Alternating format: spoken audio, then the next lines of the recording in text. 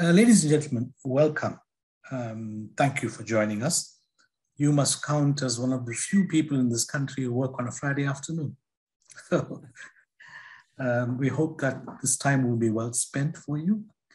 Uh, this engagement is part of a conversation in our Data for Decision Making series, which is hosted jointly by the Teaching and Learning Office and the UKZN Access and Success Advisory Forum, also known as ASSAF. So let me begin with a special welcome to Professor Diane Grayson. Welcome home, Diane. Diane is a UKZN alma mater. It's wonderful to have you back. So the name Diane Grayson should resonate with many of us, not least because of her sterling work on the Quality Enhancement Project, the QEP, which she managed from 2013 to 17 at the Council on Higher Education. And of course, you will know that the QEP was lauded as a revolutionary approach to institutional audits and evaluation using the appreciative inquiry framework.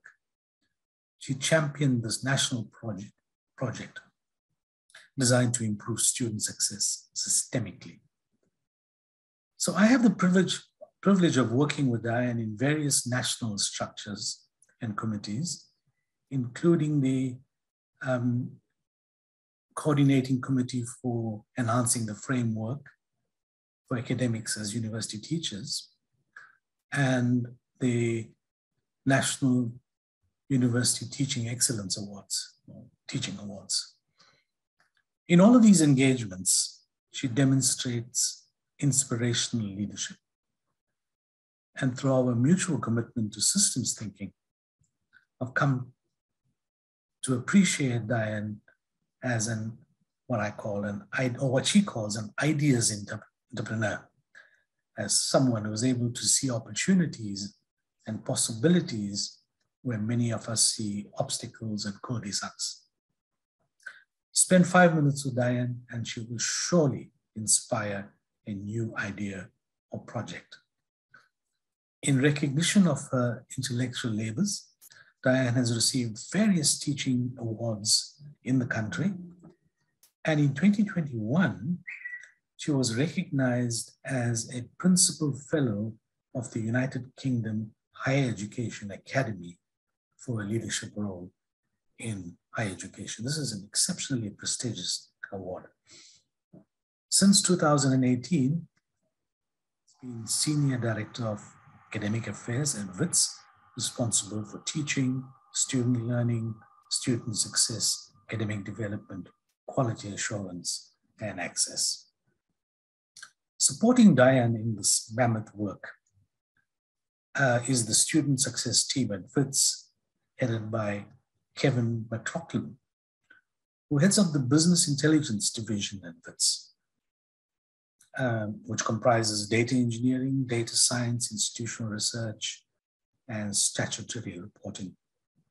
His focus is on developing the analytic capabilities and platforms that can make an impact on supporting student success and to inform policy and strategy at the institutional and national levels.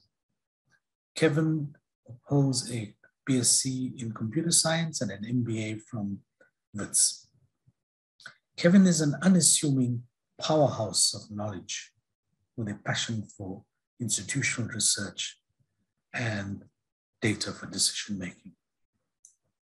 So the theme for today's seminar is Strength in Numbers, appropriately titled, Working Together to Harness Useful Data for Student Success. So Diane and Kevin uh, will speak for around an hour, followed by Q&A and discussion. Please feel free to insert your Q&A, your comments um, in the chat or in the Q&A forum.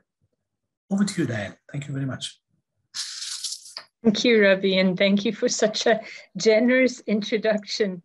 And yeah, it's been fabulous working together all these years and, and with many others at UKZN. Um, I just see someone posted in the chat who I remember from 1991, I think. Uh, okay, so let me share my screen and yeah, this is gonna be um, a duet, uh, but we won't be speaking at the same time. so I, I, will I will share the first uh, few slides um, and speak to them. And then I'm gonna hand over to Kevin to, to speak about the more data related um, stuff. So, so what I'm gonna do is just give you a, a kind of broad overview of our student success work, where we've come from um, and where we are now. And then, as I said, Kevin will give you the details of, of all the, the data, how it's collected, how it's used, um, how it's uh, quality assured, and so on. Uh, excuse me. So yeah, here's an overview. I think I'm going to skip that slide actually. Um, so, so what's the big deal? Why is student success so important?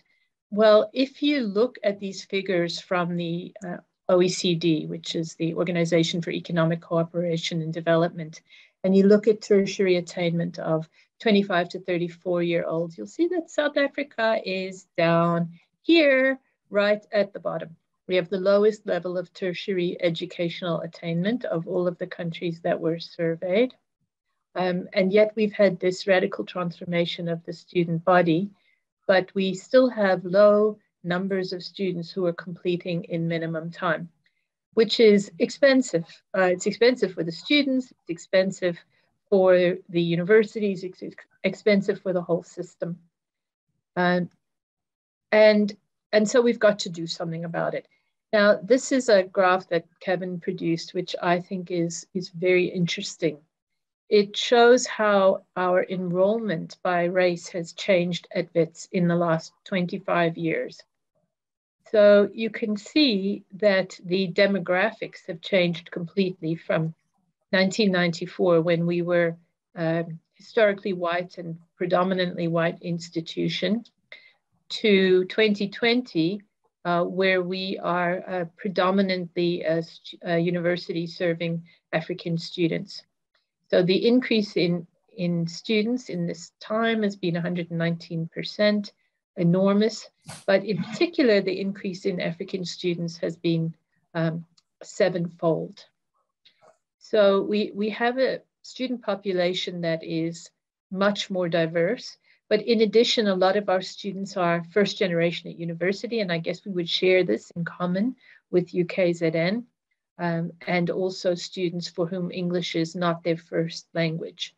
Um, so, so these students are uh, in, a, in a position where they're facing a number of challenges. And if we want our students to succeed, which of course we do, then we need to be very intentional about how we go about doing that as an institution.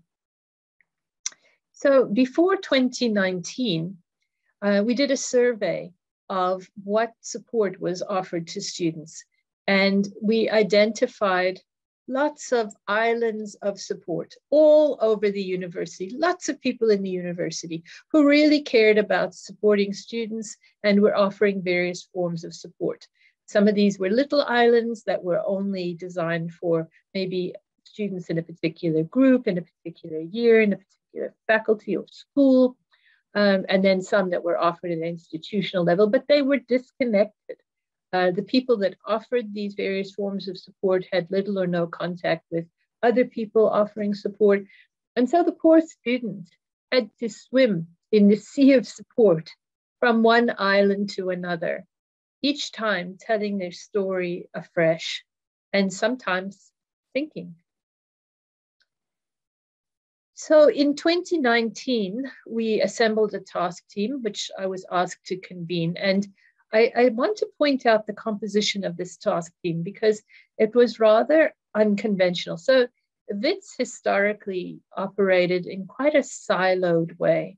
Um, we we had people working, so so we have a very devolved management system, and I think KZN does as well, where where faculties operate almost as as mini universities. Um, and then there are centrally run units, but they don't necessarily uh, connect all that closely with the, the faculty run uh, structures. So, so we created this task team that was um, not the very top senior executive members. It was this kind of next layer down. Uh, so the Dean of Students, the Assistant Deans for Teaching and Learning from our five faculties, the Head of Student Academic Development, Kevin is the Head of Business Intelligence Services, our Head of Institutional Research, um, which actually now falls under Kevin. Um, we had student leaders, and we had the director for our Center Learning, Teaching, and Development. So this was the task team. And what we did is we, we set to work saying, how might we go about offering support that's centered on the students rather than centered on us? And what do I mean by centered on us? Well, a lot of the support was centered on um, what is the unit that's doing the offering of the support. Uh, so you could identify the support in, um, by identifying the unit rather than what was the need of the student. Uh, and, and so we drafted a framework. We actually brought in a couple of systems engineers from WITS, and they, they ran a full day workshop for us on systems thinking. Um, and then they continued to help us with our consultations for most of the rest of the year to try and take a, a systems approach to how do we create a holistic uh, student success framework.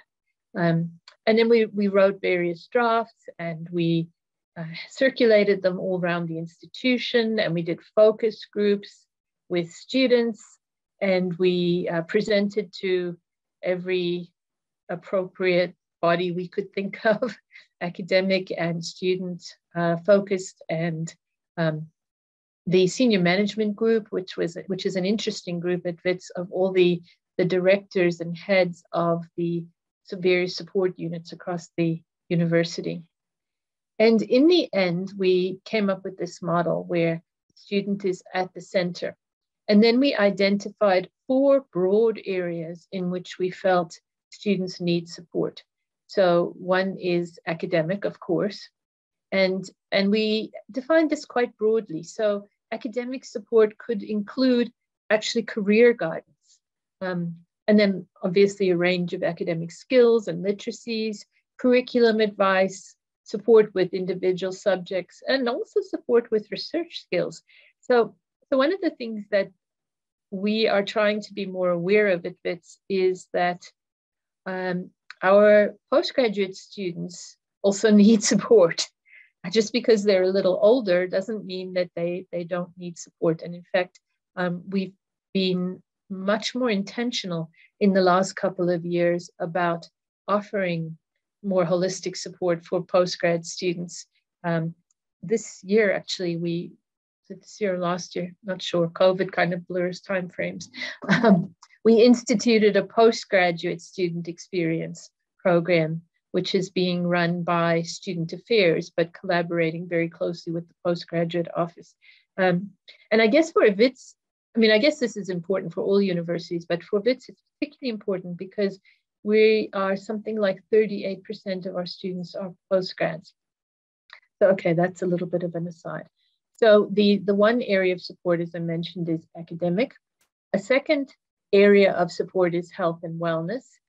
So you know, medical support, uh, counseling, peer support, disability support, gender related, and information and awareness. A third area is personal development, uh, work experience, life skills, transitions, like from school to first year, but also from final year out into employment or to postgrad studies, leadership and skills development, and extracurricular activity, oh, and employability. And then the fourth cluster of support is material needs. Uh, safety, food, international student logistics, funding, of course, accommodation, and childcare. We're not very good at this one yet, but we recognize that it's it's a need, and particularly for our growing postgraduate student population. Now, one of the things that's interesting about this model is that if you look at the various forms of support that are in the lowercase around these four big blocks, those forms of support are offered by all kinds of people and units and structures across the organization. Um, so, for example, if I just look at the health and wellness, so counseling is offered by our uh, Careers and Counseling Development Unit. Medical support is offered by the Campus Health and Wellness. Disability support is offered by our Disability Rights Unit. We have a separate uh, gender equity office. Um, information and awareness is offered by pretty much everybody, including faculty. So implementing this model means really getting people from across the university who are housed in structures across the university to work together in a very collaborative way. So one of the important things we've had to do then is to figure out how do we work together in an institution that has historically had these, these very strong silos. Um, and then there are a couple of things that we had to make sure we had in place to even begin to implement this model. So data, we need data to inform the uh, decisions that we're making, to inform us about what kind of support is needed and how well it's working. And so it was important to put in place a data analytics, ethics, and governance guidelines. And Kevin will speak to that a little bit later. And then another important uh, thing that we needed was obviously information, being able to get information to students and from students. And for that, we need a communication strategy. Um, and I have to say that it's really helped since we went into the pandemic that um, we had to put all of our courses onto our learning management system. So I don't know about you guys, but pre-COVID, not every course had a site, an active site on our learning management system. But um, since the pandemic began, since um, April 2020 in our case, uh, every single course has had to have an active site on our learning management system. And in addition, we've been able to create a whole lot of support sites on our learning management system. Um, for example, every single faculty has a student support site uh, on the LMS uh, that, that specifically targets that faculty's um, students. And so actually that's made communication a whole lot easier than previously. So now, although we haven't actually changed any structures, we, we still have the same reporting lines, what we've done is we've created this networked way of working. So we have people and units who are nodes in this network, and we've tremendously strengthened our communication with one another. So, so we do this in a few ways. One is we've created some formal committees, and I'm going to talk about one of the big ones just now. Um, we also now regularly create working groups and task teams to handle particular needs when they arise. Um, and we pull people from across the various structures and units, trying to be as inclusive as possible uh, to, to form little, yeah, so working groups, task teams, think tanks to address particular issues. And then once, once that task team or working group has, has finished its task, then we are able to put in place a process or in some cases, a policy. So this has proved to be a really nice way of working. And again, just to say during COVID, it's been fantastic because um, we, we can, well, for one thing, we know each other. Uh, and I think that's been one of the greatest things about this networked way of working is that we actually know who else is doing what on campus, which we really didn't before. Um, and, then, yeah, we're constantly working together and, and working towards a common goal because I think that there's tremendous commitment now across the institution to student success. Um, and there's also this, this nice sense of, sorry, I'm getting a bit um, enthusiastic here, but there's this really nice sense of community and camaraderie that comes from people working together, pulling together towards this common goal. And it it's really helps overcome, um, you know, what otherwise can be a, a strong sense of, of isolation and loneliness and, and despair. So we still have our islands of support in the sense that they are offered by different units in different places. However, we have tried to consolidate them. So we don't have so many islands. And then we've created these bridges so that there's a pathway for students to get from one, um, one place that's offering support to another. Uh, and also for the people in the network who are responsible for offering the support, as I said, to be communicating with each other. So we're getting a whole lot better. We, uh, we're not there yet, but we're getting a whole lot better in, in terms of being more holistic and being more communicative and being more student centered. Uh, I should just mention that I know some institutions rather try to centralize uh, all of their supports. So they'll have like a one-stop shop for students. And, and obviously there are strengths to doing that, but it just wouldn't work at Wits. we, we just couldn't centralize it. The institutional culture just would not allow it. And so this networked way of working is, is much more appropriate given our institutional culture. Okay, so in terms of how student success is governed in the institution, so if we look at the who, the what, and the how, we have a student success committee, and I'm going to elaborate on a, in a moment about that committee and who's on it.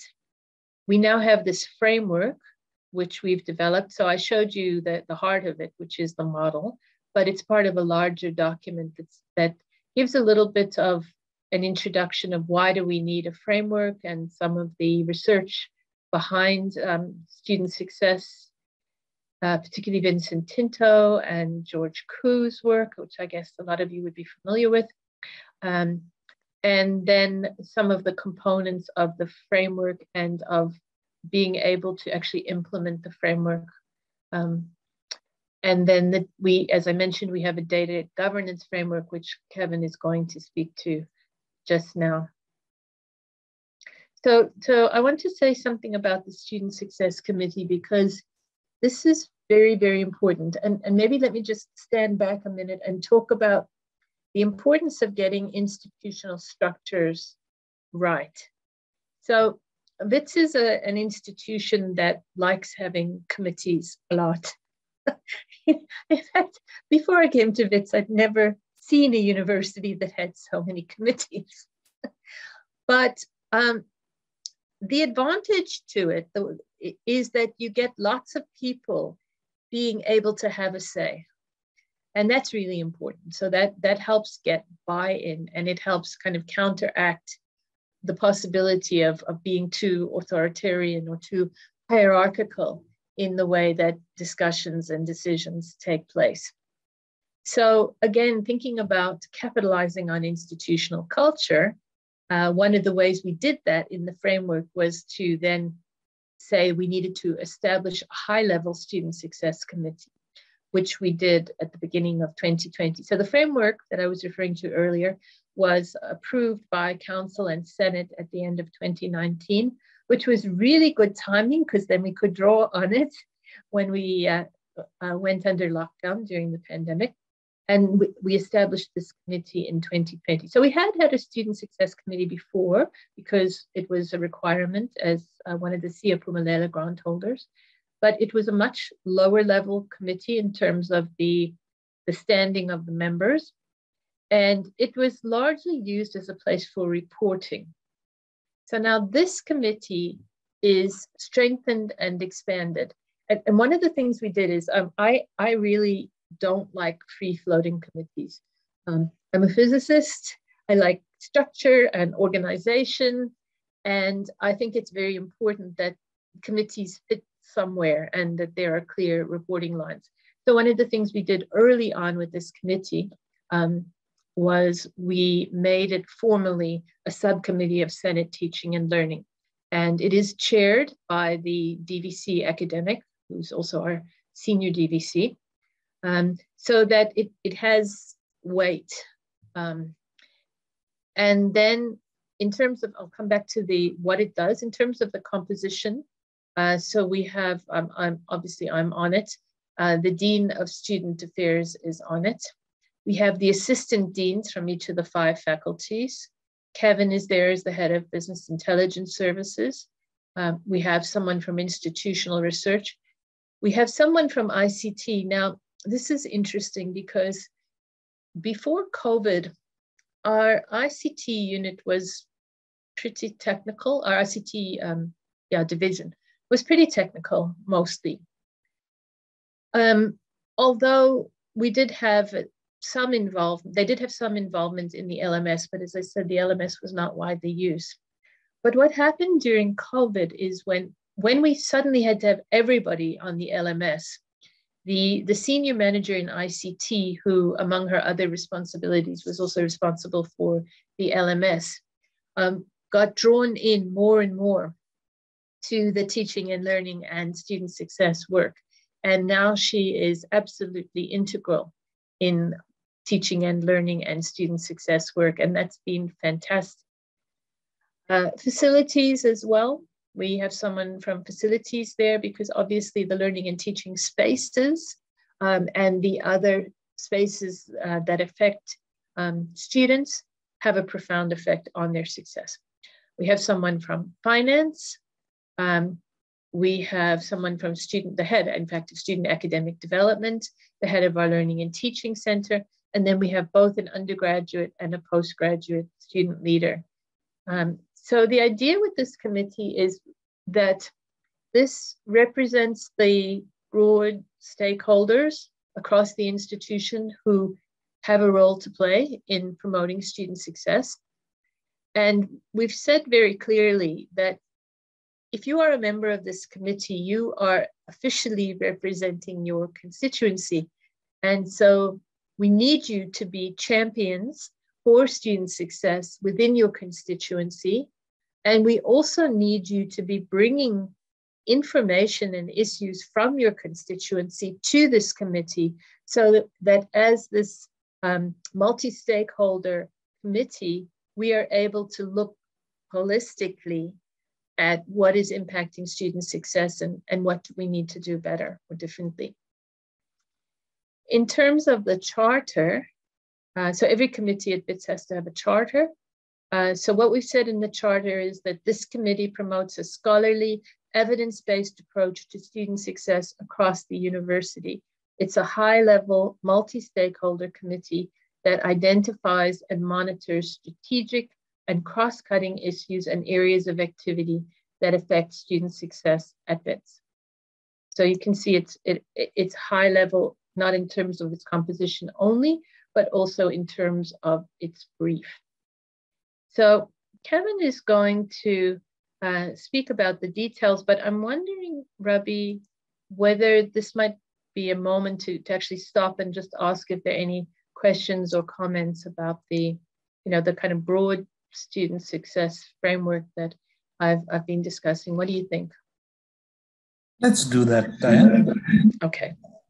We'll allocate a few minutes for any uh, questions, clarification, um, further elaboration.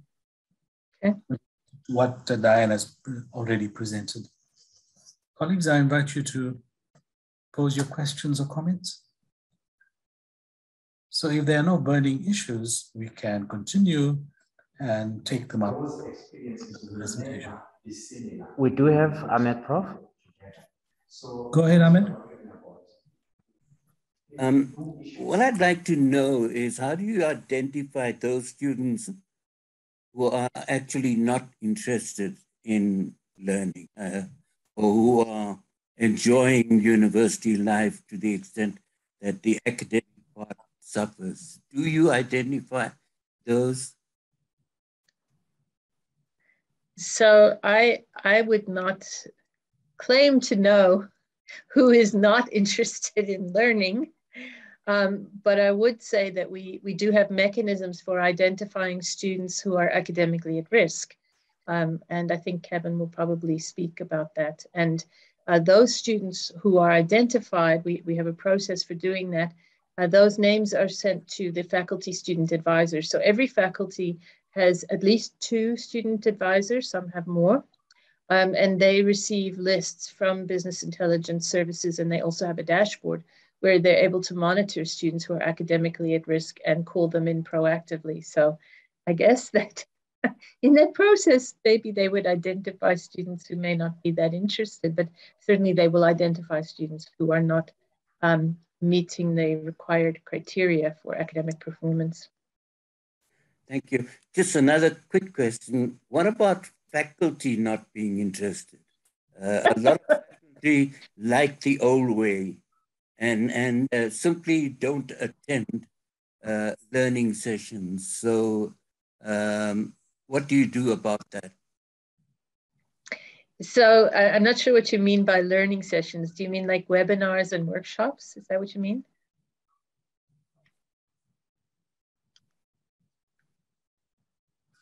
Sorry, can you clarify? Um, Diane? I, yeah, yeah. Uh, uh, say you want uh, everybody to understand uh, where the university is going. For example, when we talked about blended learning, uh, I, I, think over three quarters of the faculty knew about it or, or did nothing about learning about it. Now, how does one ensure that they get to know something that they're supposed to know? So, uh, so that, sorry, do you want me to answer or not, Ravi? No, no, I, I, I will engage with uh, Ahmed one on one. Okay. One to assist okay, these problems. So, okay. any further comments, questions, or can we hand back to Diane? Back to you, Diane. Thank you. Okay, then I'm going to mute and hand over to Kevin. Thanks. Thanks, Diane. And I just want to say uh, what a pleasure it is uh, working with Diane on this project. Um, as you can tell, she's positive, open-minded, clear thinking, creative, and it really is a joy to work with her. Um, in the earlier slide that you saw around the student success framework at the top, you saw the data governance, the importance of data governance. And just one aspect of it here, where uh, the, the framework uh, outlines the clear roles and responsibilities and cross-cutting partnerships that have to operate. So it's quite an interesting slide. It's done in terms of uh, four personas. We've got the leadership persona, the business persona, the operational persona, and the what I'd like to call the insight, uh, insight persona at the bottom. The leadership persona, as Diane's discussed, is the Student Success Committee. The business persona includes uh, the data science and artificial intelligence team. The operational persona um, is the data engineering team, and it includes other partnerships such as the Academic Information Systems Unit and ICT. The Academic Information Systems Unit represents the registrar and is responsible for uh, data quality, for maintaining the system, um, and so on. And so they're the data experts around student data. And similarly, we have groups that do that for finance and HR as well. Vertical axis that you see there has got to do with question uh, formulation of questions and the horizontal axis is about uh, providing answers. So for example, the Student Success Committee is interested in whether this uh, student uh, success program is improving student success, which means we have to have a way of managing that and measuring it. So the, uh, the, the um, insight uh, persona at the bottom comprising the Director of Academic Affairs, the Dean of Students, and the, the head of BIS, um, will then have to formulate, for example, leading and lagging indicators that are going to talk to the question that's been raised by the Student Success Committee. Then to answer those questions, the business persona in terms of the uh, data science people will then look in the enterprise data warehouse to see whether the data uh, currently exists to answer which whatever question has been raised. If the data is there, then they can go ahead and do the analysis and present it to the Student Success Committee and to the Insight uh, persona. Otherwise, they have to go to the operational persona. Um, that's the data engineering team who will engage with various uh, groups such as AISU and ICT perhaps external consultants if the, if the system um, is looked after externally. And they will then identify and bring in the, the, the required data into the enterprise data warehouse so that the question can be answered.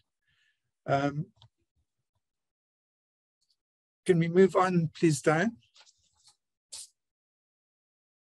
Absolutely central to the student success work is the predictive analytics that are provided by the uh, central core there that you see, the artificial intelligence and data side of things. Um, and the leading and lagging indicators are there to tell us to measure the institutional impact of what we're doing. But that, that it's sort of exciting uh, our work of using artificial intelligence is limited if you don't have the various building blocks, such as the enterprise platform, which is the enterprise data warehouse, which provides the quality assured data for driving the AI models. Um, you also need the processes that ensure that the data, for example, the, the updated marks in place in time. We've spoken a little bit about the partnerships in the data governance framework and the governance side of things provided by the Student Success Committee, which direct the use cases for the AI models. Diane, we can move on, please. So I'm going to talk a little bit about why business intelligence services is important uh, to student success. It's because BIS is able to acquire the various diverse data sets that inform student success. We're able to integrate this data, such as providing staff-student ratios, the financial situation, accommodation, biographical context, quintiles, etc. Um, bring that into the picture be able to structure the information in a multidimensional way that's easy for, easy for non-technical audiences to access and to filter, slice, dice, and drill to support various types of analytics. Facilitate interpretation through data visualization, infographics, and reporting. And we've got models to predict student success using machine learning to enable uh, us to focus on proactive interventions.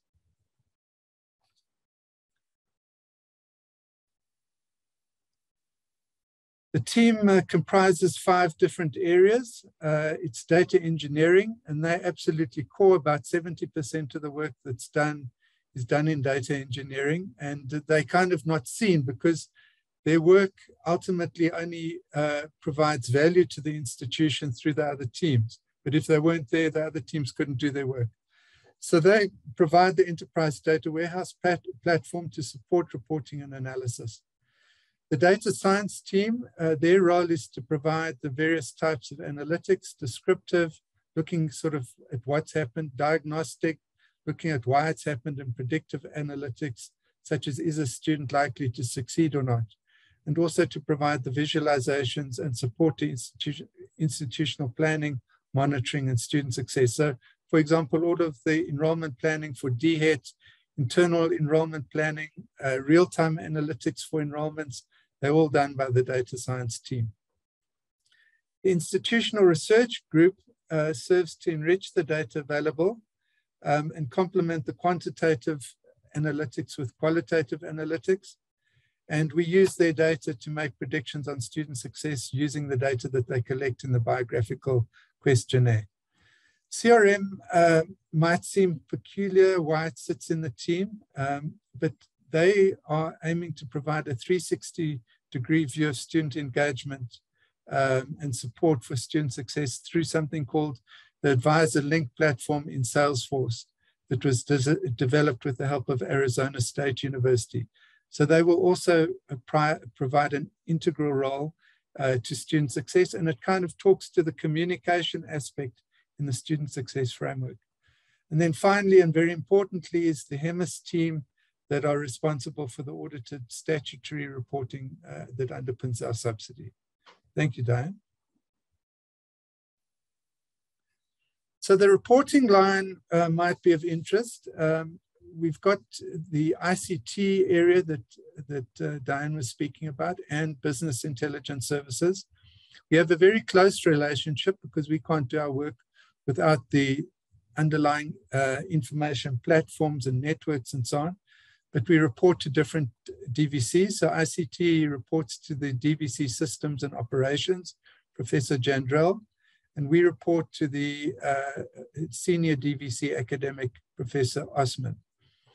The benefits of this uh, approach is that we can focus our, our um, all of our thinking and activity on the analytics perspective, on the business needs and on the academic project, not technology. Technology, we're very good at technology and it's absolutely fundamental to what we do, but that is not our primary focus.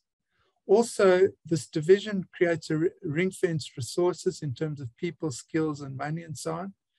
And it's allowed us to develop specialized skills in the fields of data engineering, data science, artificial intelligence, institutional research as well. Also special, specialized uh, tools for integration, for reporting, etc. Specialized processes. It's no good, for example, in the ICT area, um, you, you have to have very strict discipline in terms of moving stuff into production. In our area, um, the importance is being able to answer questions on the fly very quickly. And so we need to have different types of more agile processes to make that happen.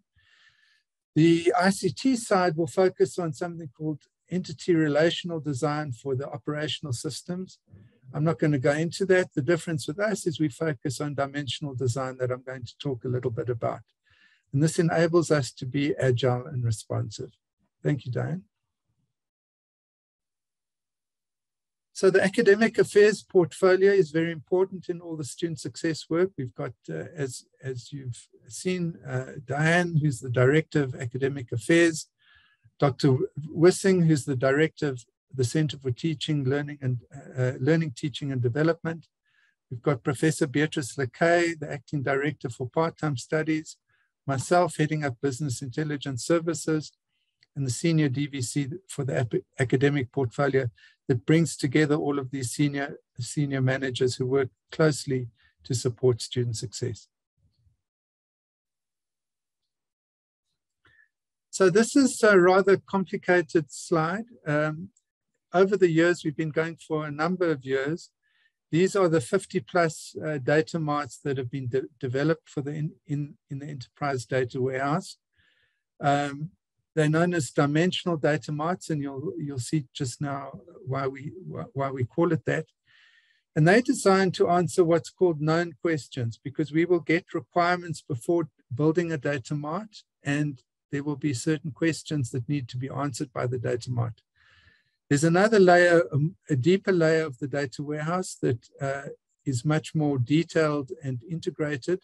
And that layer is there to answer un, unknown questions that are posed on the fly, but that requires technical people to, to answer them.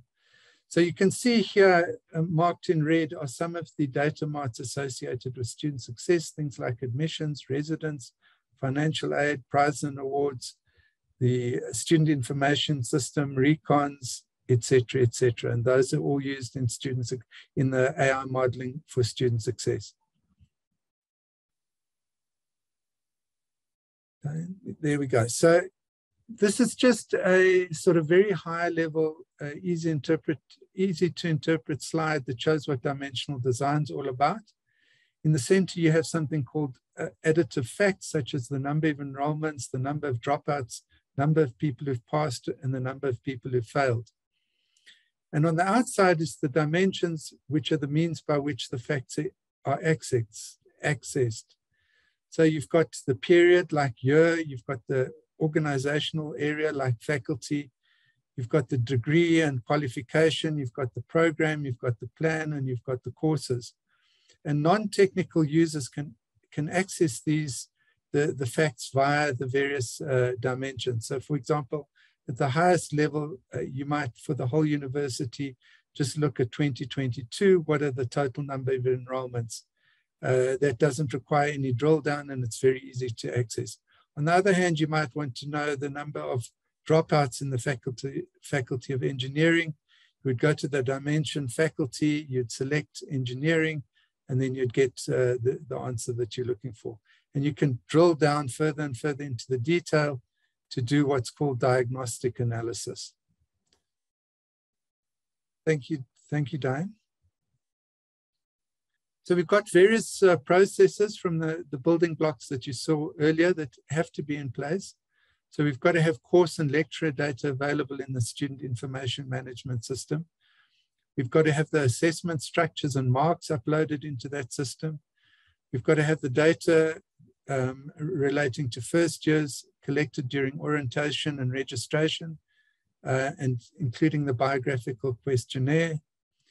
We need the student advisors, very importantly, very importantly to upload their, their interventions into the intervention site. We've got to do training of the predictive models based on this data, and we've got to uh, create dashboards. So just talking a little bit about the leading and lagging indicators, the way we manage student success. The lagging indicators are what uh, people most commonly use. That's to analyze past performance. So for example, what has been our throughput rate uh, over X number of years. Leading indicators are more important uh, to develop. They're there to kind of influence future performance before it happens. And we'll talk a little bit about that just now. If we can move on, please. So the lagging indicators you'd be very familiar with. So it's things like increased completion rate, uh, the, talking to the number and percentage of students from each cohort that complete in minimum time or minimum plus one, minimum plus two, etc. Indicator two is decreased time to completion. So that's the comparative number and percentage of students from each cohort who complete in minimum time. Indicator three is the decreased disparities in completion rates by race and gender. Um, and that's percentage completion rates per cohort by race and gender.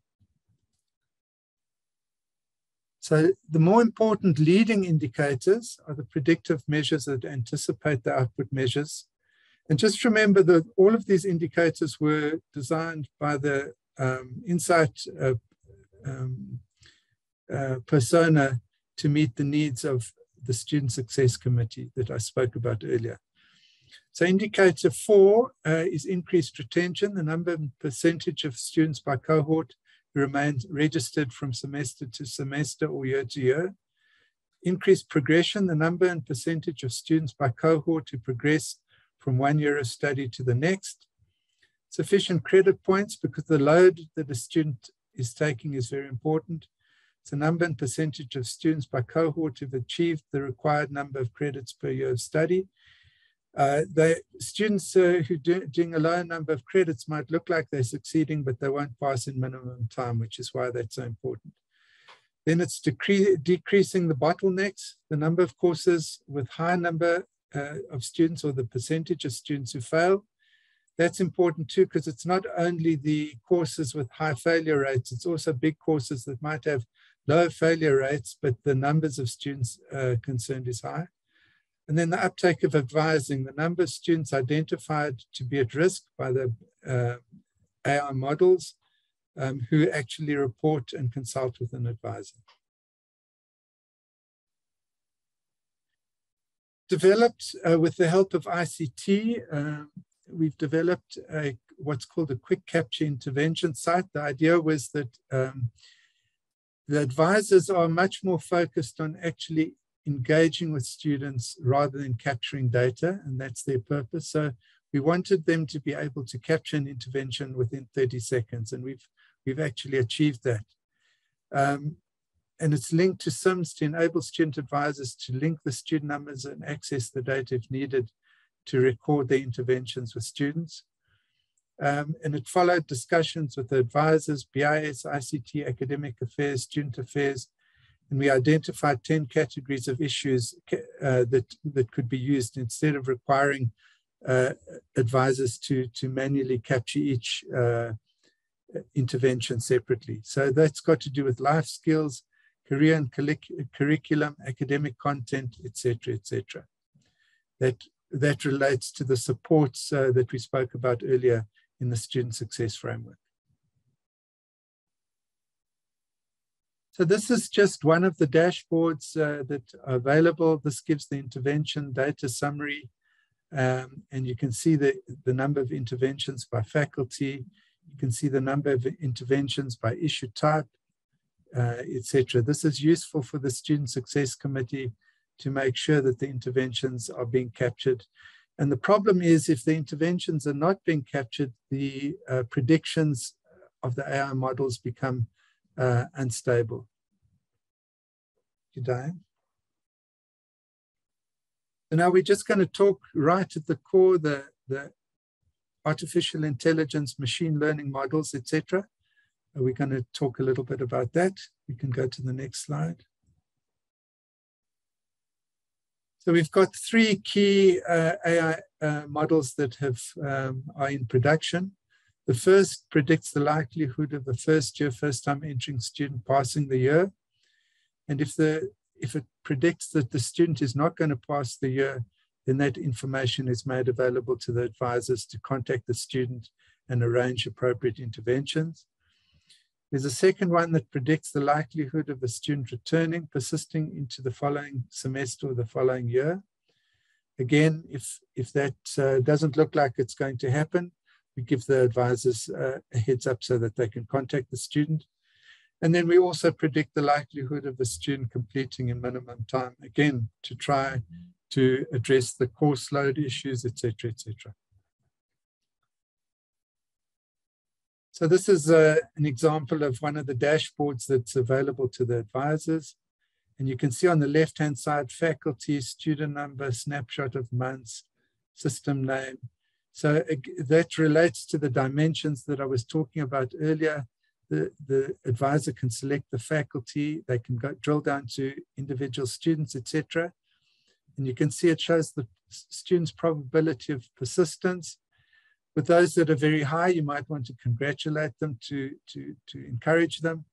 Uh, for those that are low, very low, those are the, the students at risk that uh, the advisors are interested in.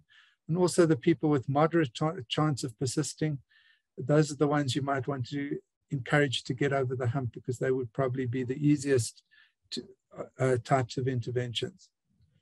And you can see the probabil probability of persistence, um, the numbers of students there, and those can be clicked on also to, to drill down to the actual number of students.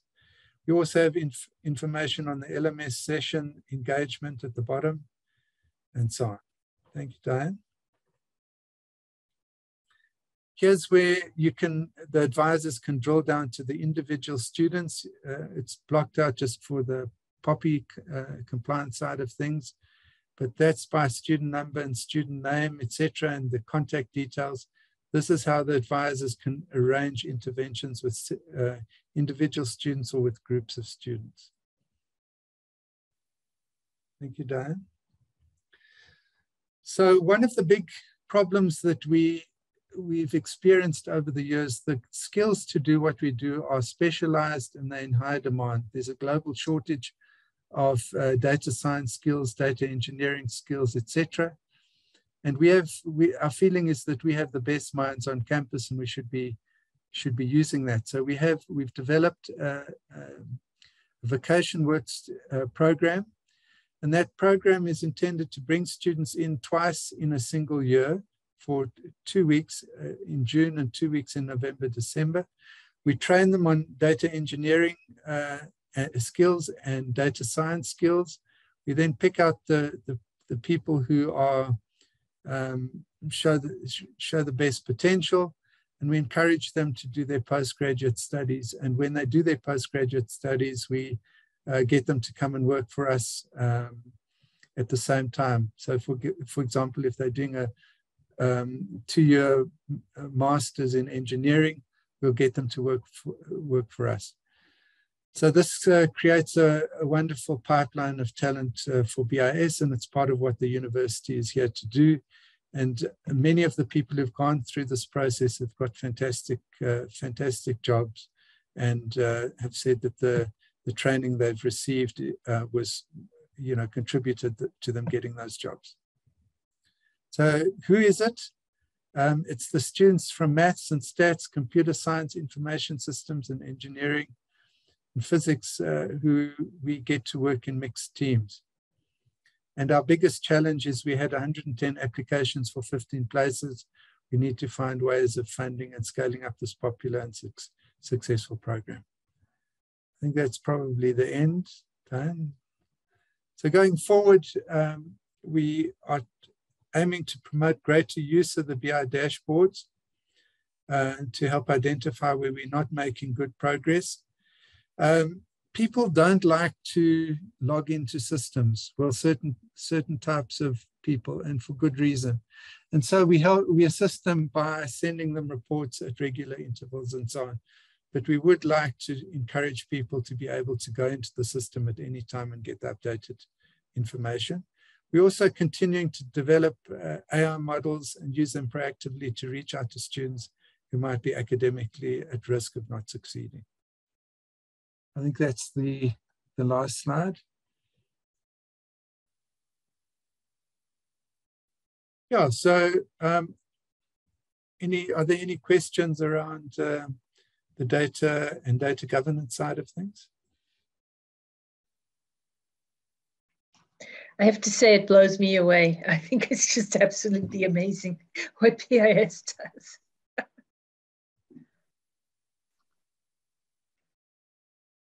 Ravi, are you going to moderate this?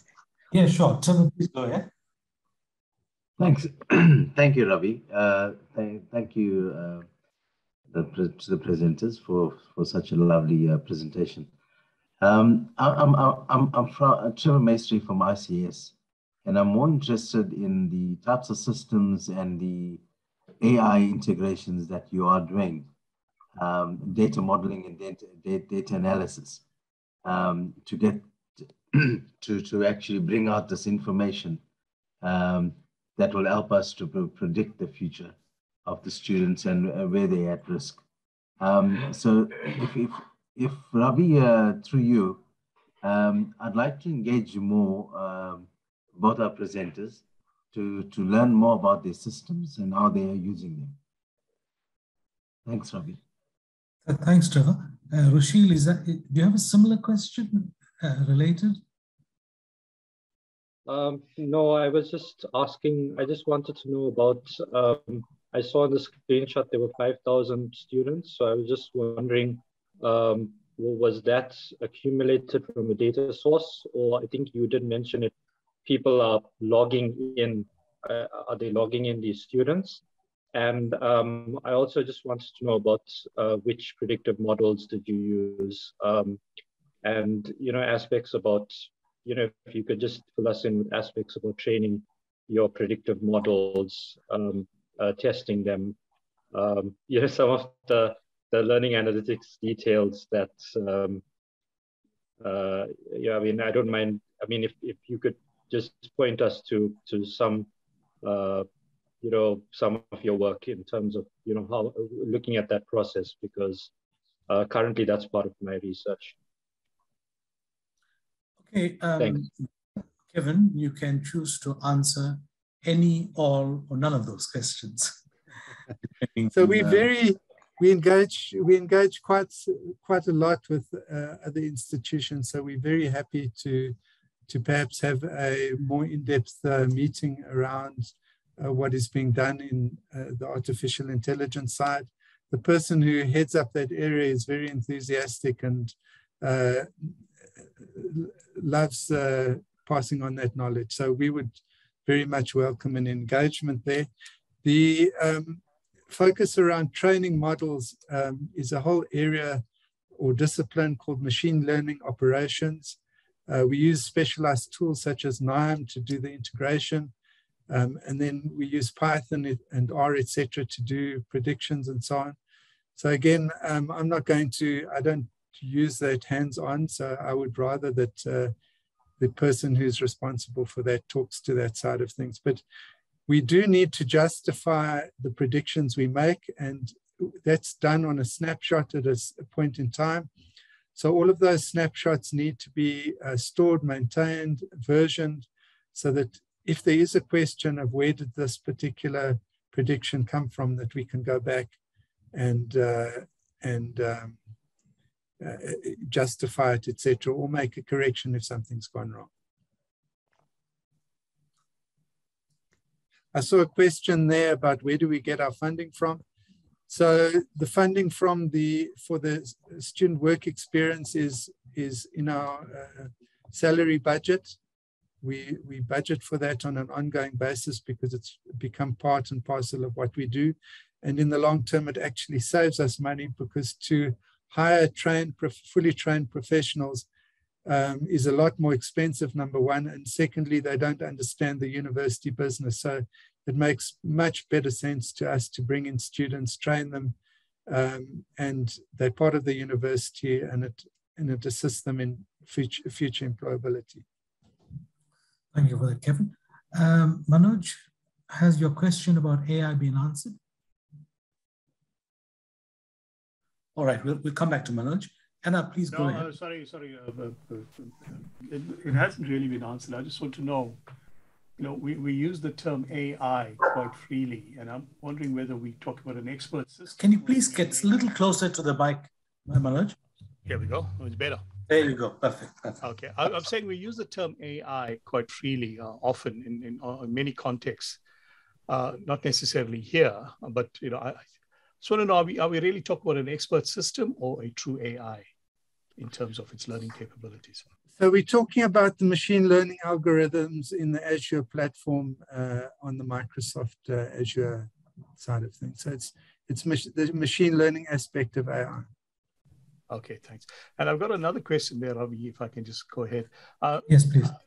Uh, you know, I posted the question, what level of executive support is required for this to be successful? I mean, there are many initiatives and, you know, but without uh, support often fail.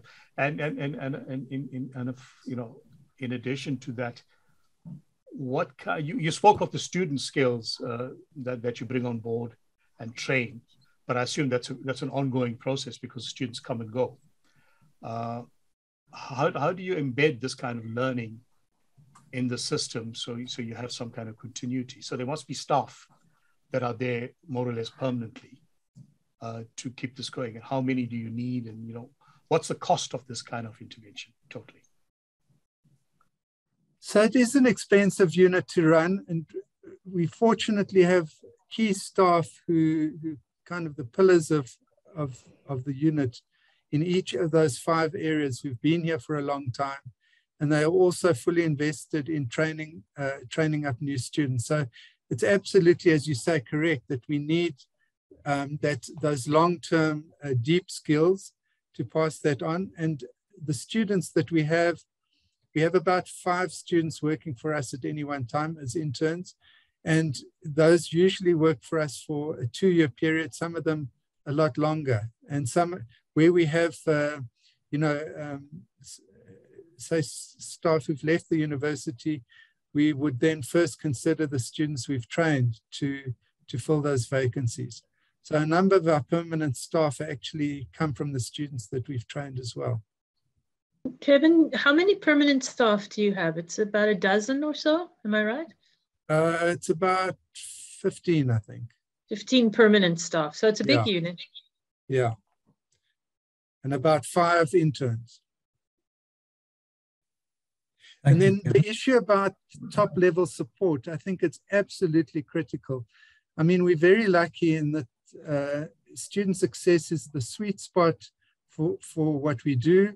And uh, the machine learning side of things uh, really hits the, that nail on the head with uh, making more accurate predictions around whether students are likely to, to succeed or not. So we're really lucky in having a use case that is of fundamental importance to the university and also having, as, as Diane has pointed out, we've got the senior DVC academic, uh, the, the, the senior director of academic affairs involved.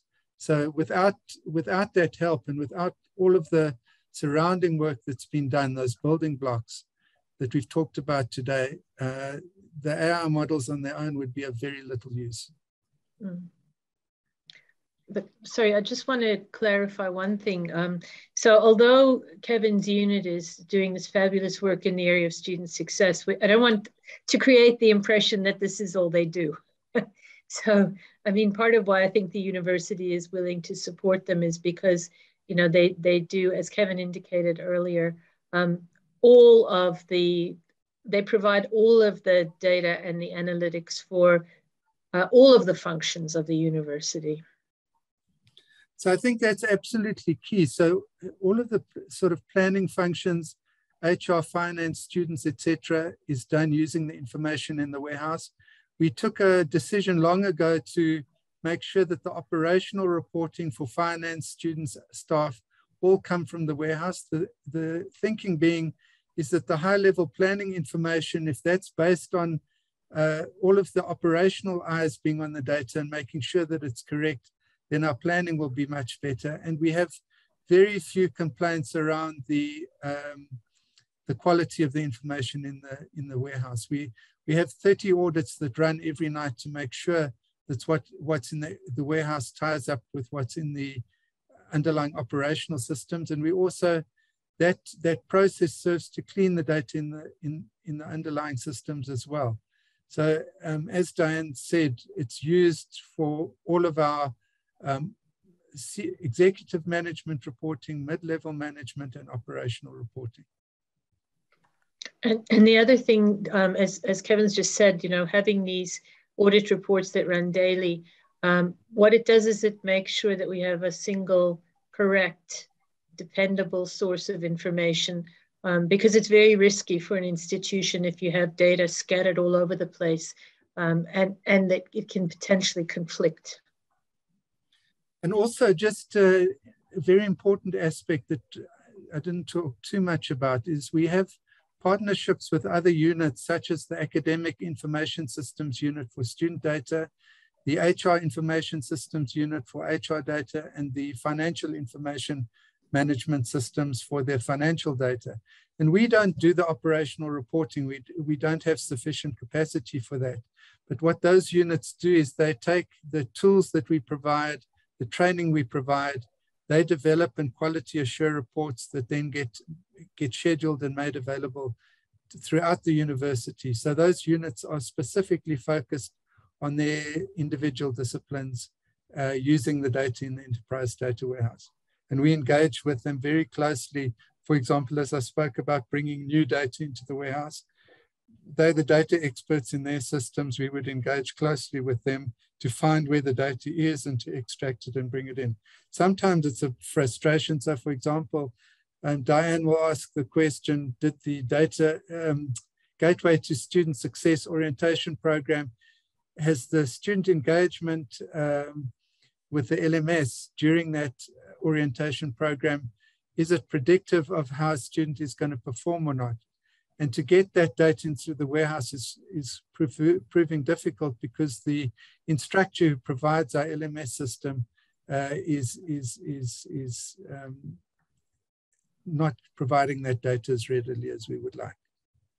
Okay. Um, Hannah, if your question is still relevant, please go ahead.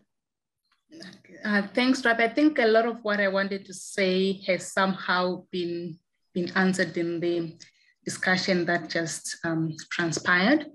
I just wanted to say this is um, actually a, quite an interesting, you know, uh, presentation. I'm quite intrigued um, as someone who also does research on, on student success. And I do believe, maybe Ravi, this is more for you. I do believe that, you know, it's quite possible for UKZN to come up with something like this because I've come across, you know, uh, an, a lot of, maybe not a lot, but a few studies, you know, that sort of like uses a lot of like the, you know, machine learning, um, you know, AI in student success from UKZN staff. And I think, you know, if that, all that, you know, um, I would say could be harnessed into like a team because it's happening, but in silos. So it won't be as effective, you know, and as intriguing as what WITS has in place. But I do believe there are quite a, a few people within UKZN who have, you know, the capacity, you know, to, to do something like this, but they've been doing, you know, a little bit of this in their little silos. Now, if all of that is put together, you know, I'm pretty sure that we, we could have something, maybe not exactly as what WITS has, but I'm pretty sure we could have something that actually works for UKZN. Thank you for that, uh, Anna. Um, Shelley, you have a comment uh, question? Yes, Thank you so much, um, uh, Ravi. And very, very nice to see you, Diane. We go way back, um, way, way back. And uh, you're still as inspirational as ever. Um, and that is just great. So thank you so much to both of you. I could kick myself actually, because I've just had an opportunity to employ two interns and I would have actually, I should have changed the criteria to do more a data science person than a psychology person. And um, I, am quite irritated with myself. So I'll have to like um, think about how to do this going forward. But just to say to you that we as student counseling are sitting on enormous amounts of excellent data. Um, and our, we have a number of challenges. The one is that we, the confidentiality, um, the sensitivity of the data that we that we are sitting on. Um, any ideas on how your student counseling manages uh, the sensitive issues? Because I think that if we could use some of the data that we are able to get uh, from our consultations with our students, that would be very helpful as a predictive um, mechanism and also for us to be able to assess impact. So I don't know if you've got any thoughts on that. Thank you so much. Mm. So, so maybe I can have a first go at that. And yeah, very nice to see you as well, Shelley. Um, so I know that our student counseling unit also is very concerned about, about confidentiality and the sensitivity. So I, you know, I think, and, and I don't think we've cracked that nut yet. Um, so with the intervention side that Kevin was referring to earlier, uh, it, it's a partial solution. Um, so what, what we had done is we'd actually sat down uh, with a range of student advisors, and I think we also had some people from counseling unit there to say, okay, what are the broad categories of things that students are coming from, coming for and and can we agree that these are you know there'll be others but these are the main things. Um, so that's that's one thing to do is to say okay let's not we don't have to look at the details of um, what this particular student's challenges are but we can say it is in the area of food security. It is in the area of mental health or whatever. That's that's a very kind of rough way to do it. There are more sophisticated ways to do it where you you know, you, you put up all kinds of um, password protection at various levels so that you de-link the student's identity. Um, Kevin, maybe you want to say more about that. Yeah, we did meet with the, the head of the area counseling, counseling and careers. And the problem is that certain students, especially where there are, for example, psychological issues, etc., um, if they they don't want other students or anyone to know that they've been for assistance and so on. And if they get the idea that they have to for example record that they've gone to careers and counseling unit uh, even if we don't know what it's for um, then it might push them away. And that is the focus and it's a very important focus for that area. So we didn't uh, we didn't really push it or pursue it any further for those reasons Mm. But but I do think it's possible. I think that with the with the right use of um, passwords and permissions, you you could do it. You uh, you know you could collect the data and anonymize it um, in a way that does protect the student's identity. Thank you so much. Back to you, Anna. Yeah, Shelley. You know, I I, I was at um, at another. I think it was a workshop where a similar a similar issue was raised and I remember one, uh, I think from one other university, I can't remember which one, they did mention that they do have, uh, when students come for consultation, rather than using the student number, they also use, um, you know, another code for the student. So if you're going to give the data to someone else to analyze, you know, it doesn't have student numbers, but at least it has certain codes that the person can use to, ana to analyze. So it's a way of anonymizing the data and no one will know which student actually, you know, say this kind of kind of information. So I know it might be a lot of work uh, on the psychologists to have to do that, you know, you know, sort of like how you capture your data, but that's what some are actually doing. So the data can go out without uh, to whoever is going to do the analysis for you if it's not within your unit, but it will not have like any information that can identify specific students. Thanks, Anna. Let's talk um, further. I'm, I'm very interested. Thank you. Thank you, colleagues. Um, Manoj, you had your hand up and then you lowered it. Yes, Ravi. Uh, I posted some questions, but I think it's been missed. Uh, the, you know, I asked about executive support earlier. Just to follow up to that, uh, to to what, uh, which, where does this unit report? Think reporting structures are very important to understand. You know, the functioning of uh, any anything within a university, and and and then also, uh, uh, I, I, think Kevin, you mentioned about about the you know the running 30 audits a day and the information being uh, but how, how accessible is this information to staff is it through a form field that just you log in and get information or is it a process um, you know information is valuable if it's accessible i think. And uh, as a staff member at a university if i wanted to see something about my students or trends or whatever the case may be would i just be able to log in and get it? Thank you. So, um, as I said earlier, showed on one of the slides that we report to the DVC, uh, the senior DVC academic. It's and and she strongly supports uh, both our general information uh, capability as well as the student success side of things. Um, sorry, your second question there was about who gets to access the data and what data yeah. and how. So we have a system whereby people can request access. Uh, their line manager's got to approve it. It can be audited. We train them and then they can gain access to the system. And there are various levels of access. There are people who can just request reports to run that have been pre-built. There are other ones, uh, depending on their role, who can build reports. There's a process whereby reports that have been built by individuals can get quality assured and then published to a wider audience. So there's a very variable way of doing things. We also, uh, the data science people are sometimes the biggest users of the, the warehouse because a lot of people like to ask the question rather than going into the data themselves. And we will pull, the, pull together the information and present it. We have something, for example, called a quinquennial review, um, that, and that we will pull and send that data uh, to he, whichever head of school is being reviewed. And then they can ask for additional summaries um, and nuances to the data, etc.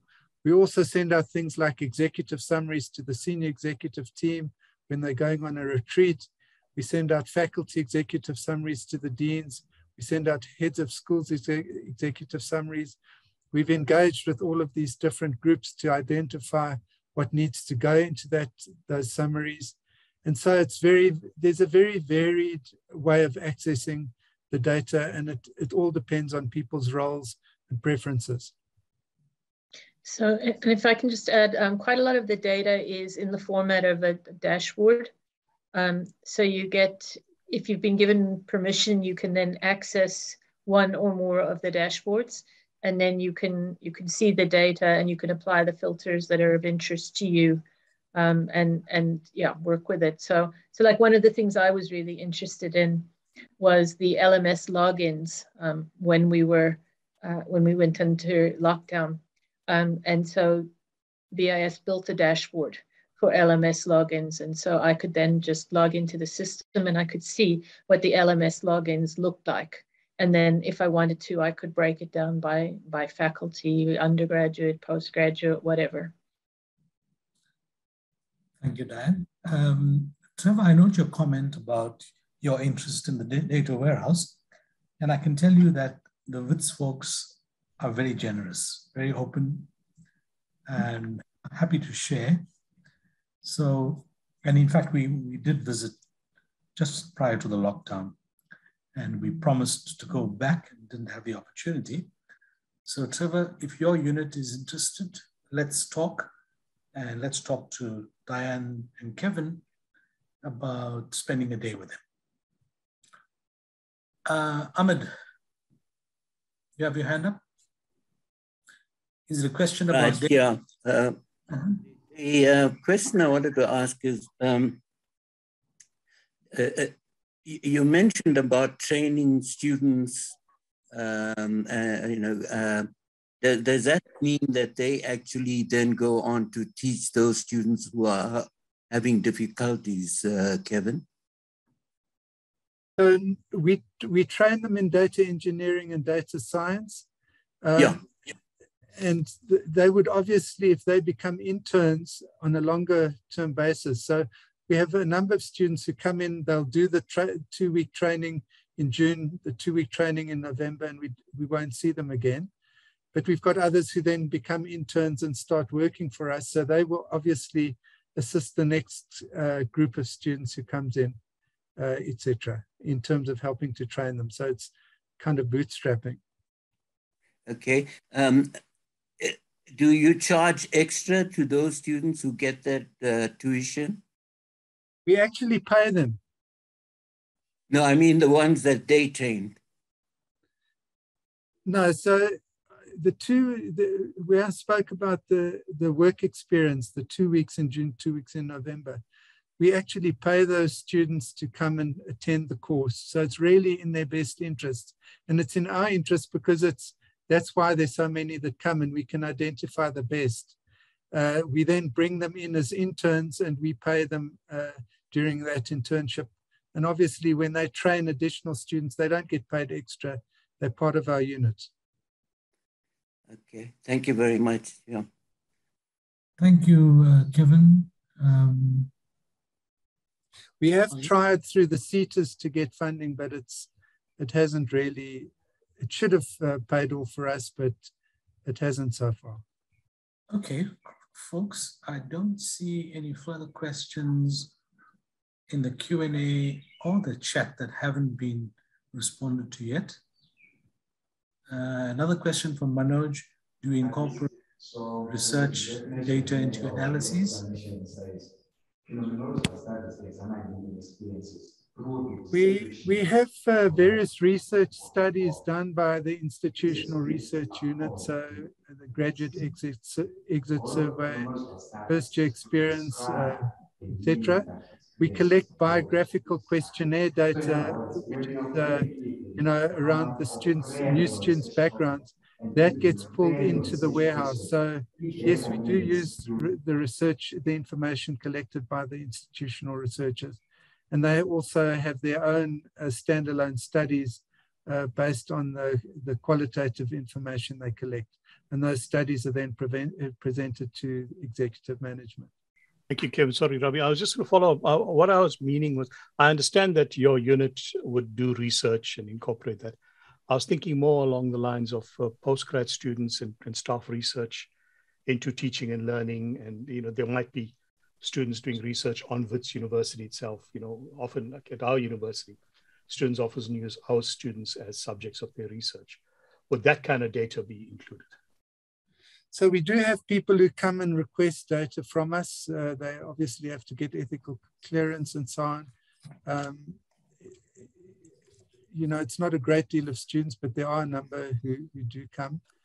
Um, and uh, I think the student advisors do some research with, with their data as well. Diane, perhaps you can comment there. Yeah, so, but I, I'm wondering if Manoj is asking the opposite question of whether the results of research are impacting on on the way we are using and, and analyzing our data. Is, is that your that, question? That, that is my question. Are you using the outcomes yeah. of the research?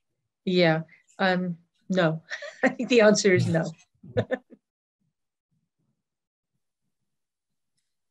like Loisa has his hand up. Uh, Loiso, yes, Prof. Yes, Prof. Um, there is a question that was asked earlier on. If I may just quickly read it, it reads as follows. An important aspect for student success is involving students in student content creation and being co-creators in curriculum development. How was this addressed? That's the question. Okay, this, this the theme of this seminar is not curriculum. So I'm not expecting our presenters to be, able to answer that directly unless they want to hazard the response. Yeah, so I'm going to try and share a slide here. Um, I did actually see this question. So I mentioned to you that we used systems thinking when we developed the student success framework. And uh, this is this is one of the, the tools in students uh, in systems thinking. So it's called the poached egg model, um, where you talk about sibling systems. Um, so there's, there's a large containing system. So in our case, that would be the entire university. And then you have um, sibling systems. And then you decide what is going to be the focus for um, your particular application of systems thinking. So if you don't select subsystems and you don't delineate a system in focus, then you, are not actually doing systems thinking anymore because you're looking at everything. So, so when we did the student success framework, we, we drew a boundary and we said we are some things we are not going to look at in drawing up this framework. So we're not going to look at the formal academic program. Um, and nor are we going to look at physical facilities and resources. Not because they're not important, but because they need to be dealt with elsewhere um, and not as part of this framework development. So yeah, we're not talking about that here. We do talk about it, however, in other places like the Senate Teaching and Learning Committee and the Faculty Teaching and Learning Committees. Thank you, Diane. Um, it seems like we are nearing the end. I don't see any further comments in the chat, no further hands. Um, would you like the last word, Kevin and Diane? So, um, Kevin, do you want to say something? And then maybe I'll give the last, last word. Yeah, I think uh, it's it's been an absolute pleasure sharing our experiences. Uh, through the Siyaphumelela area, we found that uh, there's no one right way of doing things. We're sharing what we do, and uh, we like to learn from others as well. So we're very happy to engage with you further, etc. Thank you. Yeah. Thank you. And and yeah, thank you for this opportunity to to share what we're doing. As you know, when you have to talk about what you do, it makes you reflect on what you do. um, and and maybe maybe just uh, you know we've we've tried to to give you some information about our, our structures and so on. Um, but at the end of the day, you know, Peter Drucker's famous famous statement about um, culture eats strategy for breakfast. Um, so you mm-hmm. have to, in the end, decide what will work for your own institutional culture. Thanks. Absolutely. Thank you, Dan. So uh, you've taken us through an epic journey of your structures and your development and your facilities, which, to say the least, are, very impressive. Um, and I'm making this offer to this team on your behalf to invite them to engage further in selected aspects of your presentation, uh, sometimes going forward. So thank you immensely. We are forever grateful, Diane, Kevin. Colleagues, um, thank you for joining us in this session. I hope it's been as rewarding for you as it has been for me. And do join us in further conversations around data or decision making. Do have a pleasant weekend. Thank you all. Thanks, everyone. Thank you.